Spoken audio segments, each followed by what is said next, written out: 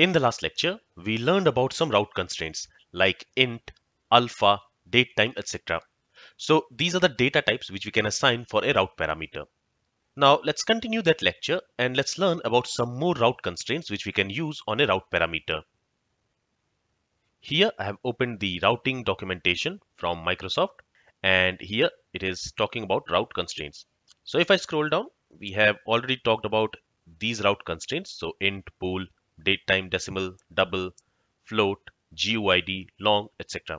So these are basically the types which we can assign to a route parameter. Apart from these types, we also have route constraints like min length, max length, and length. So let's talk about these route constraints now. So we can use min length when we want to specify the minimum number of characters which we want to get for a route parameter. Let's understand this with an example. So let's say for the author name, we only want to get some text value. For that, we have specified this route constraint alpha. And for the author name, the minimum character in the author name should be 3 and the maximum character in the author name, let's say, should be 16. To specify that, we can use another route constraint and to specify another route constraint, we can again use a colon and then we can specify the next route constraint. So here we want to use this route constraint min length. So the minimum length for the author name we want should be 4. And then I want to specify another route constraint, let's say max length.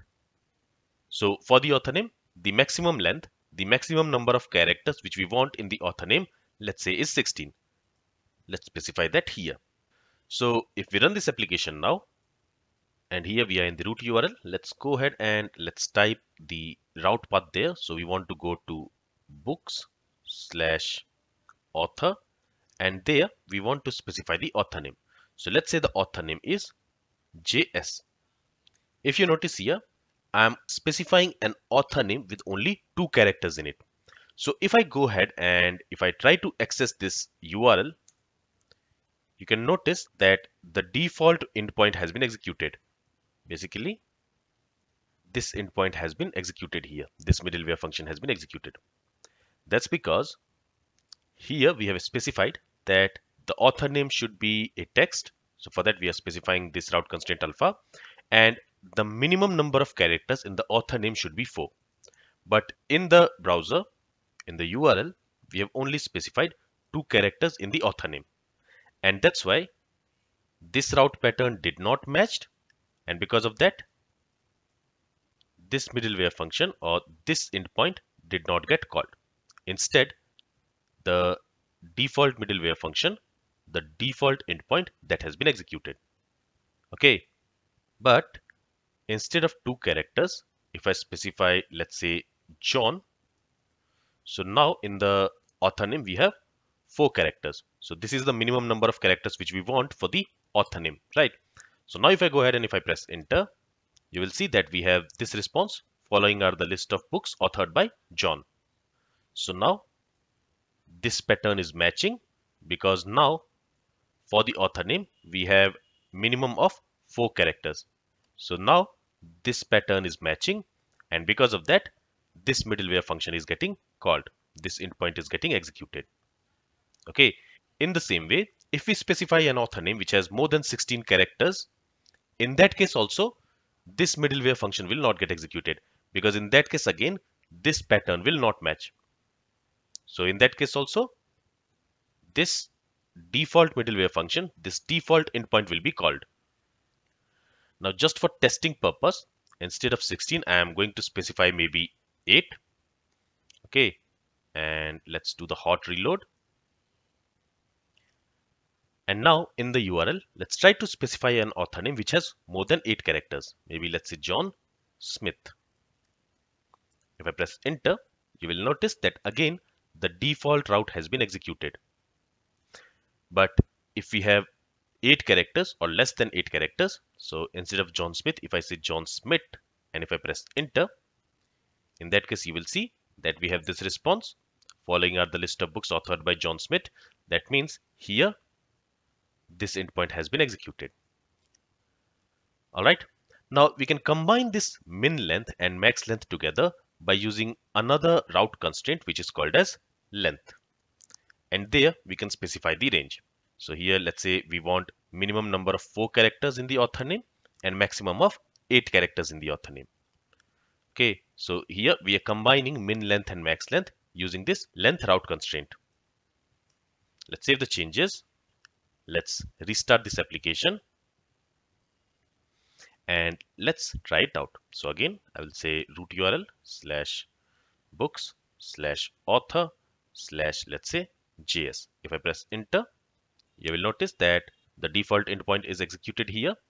If I say John Smith, so here we have total nine characters in the author name. So this time also the default endpoint should be executed as you can see.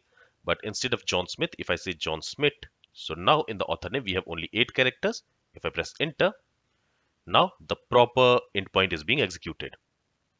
Okay, in the same way, if we have, let's say, five characters in the author name, then also the proper endpoint should be executed.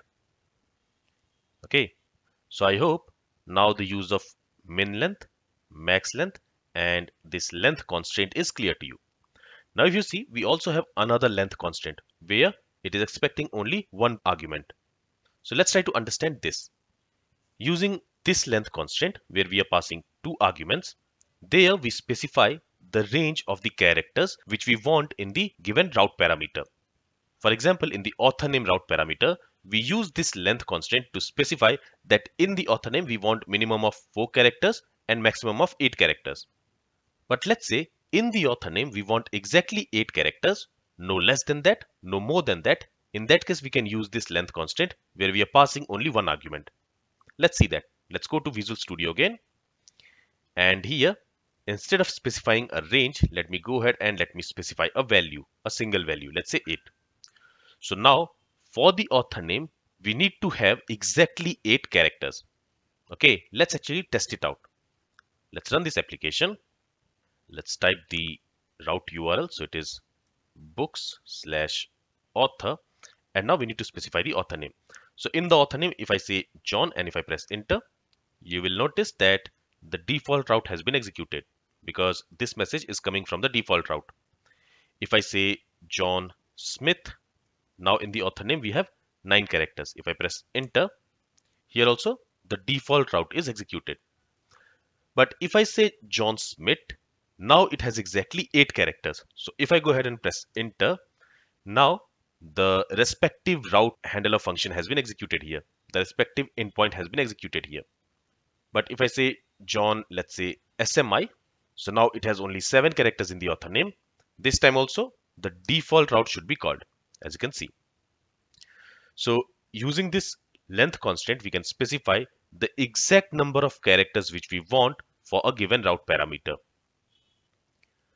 Then we also have this min and max constraint. Now, this min and max constraint can be used on a route parameter of type integer. And there, using this min and max constraint, we can specify what is the minimum number of value we are expecting for that particular route parameter and what is the maximum number of value we are expecting for that particular route parameter. For example, if we go to our first route, there this id is of type integer. So we are specifying that using this int constraint. Now here for the ID, the minimum value of this ID route parameter should be 10. So that I can specify using min constraint and there I can specify the value as 10. And the maximum number of value which this ID parameter can take, it should be let's say 1000. So for that I can use this max constraint and there I can specify that value, let's say 1000. So now to this ID parameter, the minimum value which we can assign to it is 10 and the maximum value which we can assign to it is 1000. If we try to assign it a value less than 10, let's say 8, in that case, this URL pattern will not match and this endpoint will be not executed. In the same way, if we try to assign this ID parameter with a value which is greater than 1000, in that case also, this route pattern will not match and this middleware function, this endpoint will not get executed. So now to this id route parameter, we can assign only those values which is greater than or equal to 10 and which is less than or equal to 1000. Let's test it out. So let's run this application and let's type the URL. So it is root URL slash products and then let's specify the value for ID, let's say 8. If I press enter, you will notice that the default route has been executed here because here the value which we are passing for the ID parameter, it is less than 10. If I pass 10 here, in that case, the given endpoint will be executed. So here we can see this response. This is product with ID 10. So it is working as expected. If I pass 100 and then if I press enter, in that case also it is working as expected. If I pass 1000, in that case also it is working as expected. But if I pass 1001 here instead of 1000, so now this 1001 is greater than 1000, right? So in that case, the default route should be called. The default endpoint should be executed. Okay, so using this min and max constraint, we can specify the minimum and maximum integer value for a route parameter which it can expect. Now, we can also combine this min and max by using another route constraint which is range. Okay, and here we can specify a range of value, for example, 1 and 1000. So using this range constraint, we are specifying that for this id route parameter, we can assign the minimum value of 1. Let's actually make it 10. So using this range constraint, we are specifying that for this id route parameter, we can assign it with a minimum value of 10 and a maximum value of 1000. Any value which is out of this range, that means any value which is less than 10 or greater than 1000 cannot be assigned to this id route parameter. If we go ahead and if we run this application again, for that I will click on this restart button. Let's again go ahead and let's type the URL path which is slash products and slash let's say we pass 10 here. So in this case the proper endpoint will be executed. But if I pass 8 here which is less than 10 in that case the default endpoint will be executed. In the same way if I pass 1000 here or any value which is less than 1000 in that case the proper endpoint will be called but if I pass a value which is greater than 1000 maybe 1010 and now if we press enter the default route has been executed all right so here we talked about this range route constraint we have already talked about this alpha route constraint in our previous lecture then we have this regular expression, which we are going to talk about in our next lecture. And we also have this required route constraint. And we will also talk about this constraint when required. This is all from this lecture. If you have any questions, then feel free to ask it. Thank you for listening and have a great day.